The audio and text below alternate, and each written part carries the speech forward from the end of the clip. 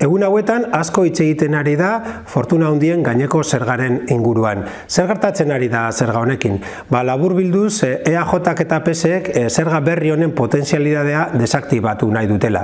Zerga berria eta ondare zerga bi zerga paraleloak dira, zerga petzen dutelako gauza berbera, ondarea.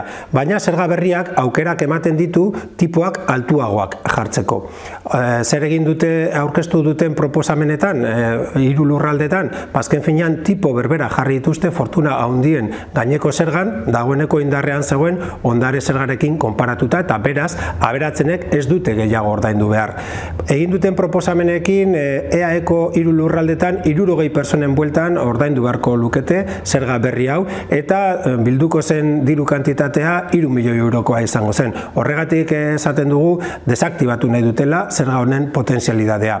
Zer proposatzen du Euskal Herria bilduk? Ba hiru lurraldetan zuzenketak aurkeztu aurkeztuko ditugu foru araua aldatzeko eta dagoeneko Nafarroan indarrean dauden tipoak hemen ere jartzeko. Nafarroan konsensua egon zen EAJak eta baita ere PSek hori onartu zuten eta pensatzen dugu hemen ere onartu beharko luketela. Horrela bi helburu lortuko genituzke alde batetik dirubilketa pizkat haunditzea, baina baita ere pedagogia fiskala egitea. Uste dugulako progresibitatea aldarrikatu behar dugula fiskalitatean. Hau da, gehien daukatenek gehiago ordaintzea.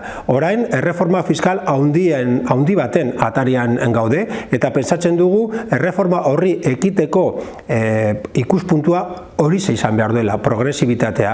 EAJak eta PSek egin dutena da aberatzen aldeko fiskalitatea eta hemengo aberatzek estatu mailan ordainduko dutena baino gutxiago ordainduko dute. Uste dugu hori ez dela bidea eta horregatik progresitateen aldeko deialdia eta proposamen hau egiten dugu.